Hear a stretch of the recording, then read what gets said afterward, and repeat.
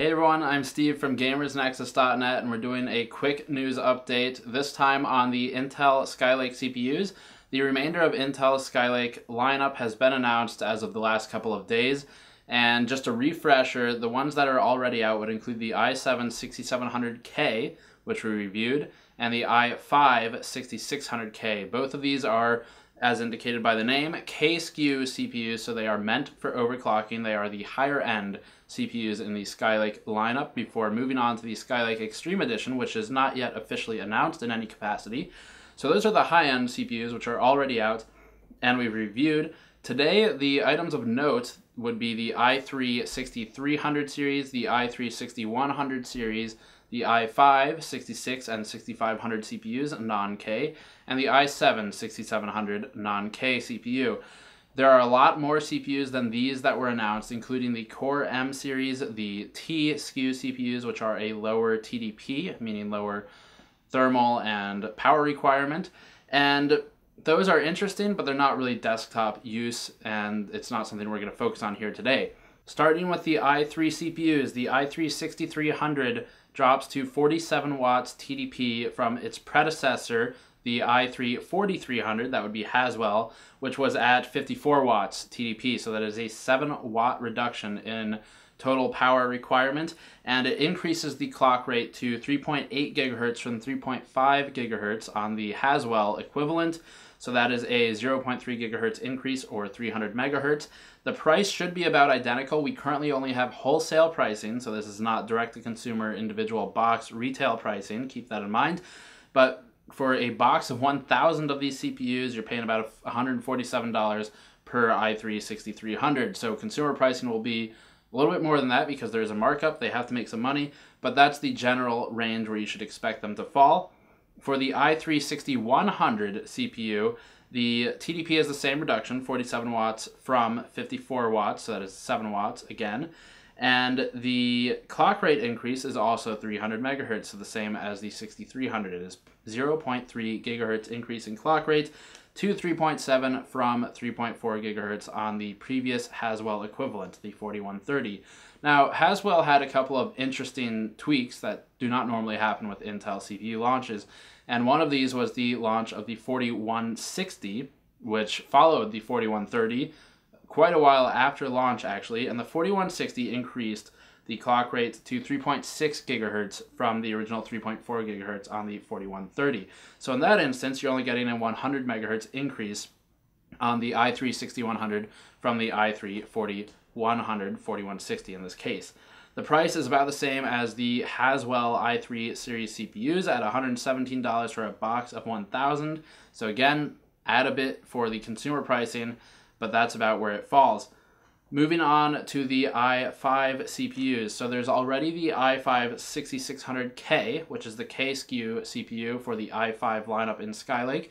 And the K just means, as many of you already know, that is overclocking ready. So they've got very granular support for base clock increments in the Skylake architecture. And then there's also unlocked multiplier increases. So you can increase the clock of the K SKU Skylake CPUs quite a bit by using the base clock and the core clock multiplier jumps in, in BIOS.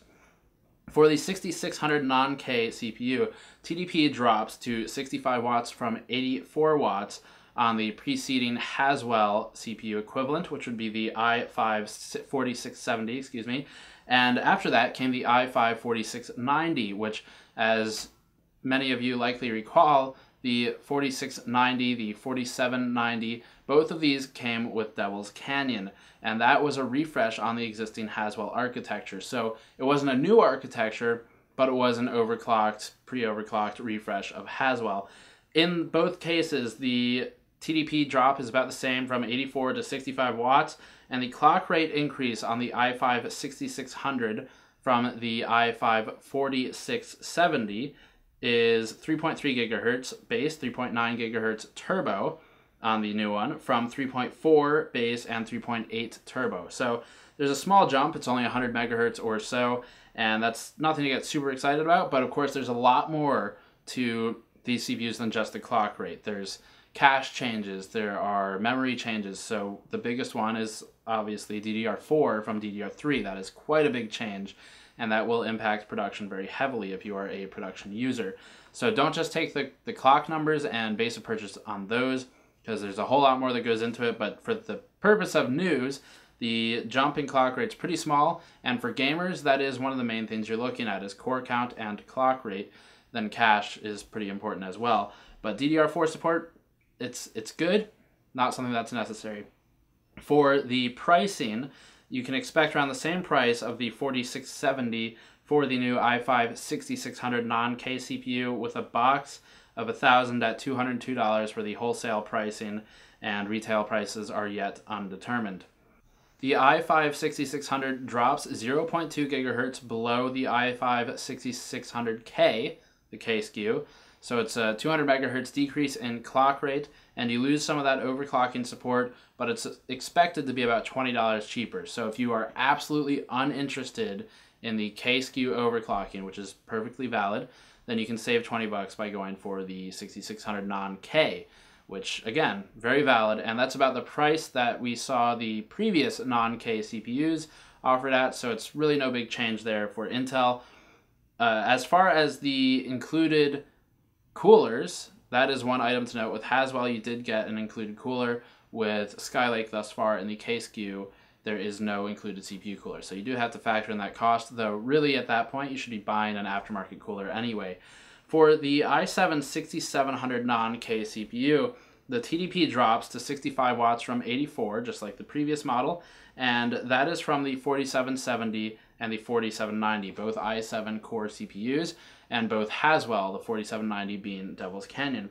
The clock rate is about the same at 3.4 gigahertz on the 4770 and the 6700, and 3.9 gigahertz turbo with both of those. The price is $312 for a box of 1000, so it's expected to be about the same price as the previous non-K SKU i7 CPUs. As for the difference between the 6700 and the 6700K, that is actually pretty measurable. It is a 0.6 gigahertz decrease for the non-K version of the 6700 CPU, so that is a 600 megahertz change, pretty big, and that's the base frequency, but the 6700 is expected to be priced around $40 cheaper than the 6700K. So that's quite a big difference in price when you're doing really any kind of mid-range build or thereabouts. And that's something that should be considered if you are not planning to do any overclocking whatsoever, because if you're not overclocking, they do bin out a bit better for the K-SKU CPUs, but it's a big price savings. So that is all for the Intel news with the new CPUs that were just announced. Core M CPUs were also announced, as were the T-SKU CPUs, but we're not going to cover those because they're not really core desktop user products. They're more for power saving users, business users, and folks like that. The laptop CPUs were also announced, but something we will go into separately. Hit the link in the description below for the article on all this with the charts if you want to just see straight charts the data. And if you like this type of reporting, as always, check out our Patreon page in the post-roll video and that helps us out a lot. We're gaining subscribers there pretty quickly. It's very exciting to see. So that is all for this time. I will see you all next time.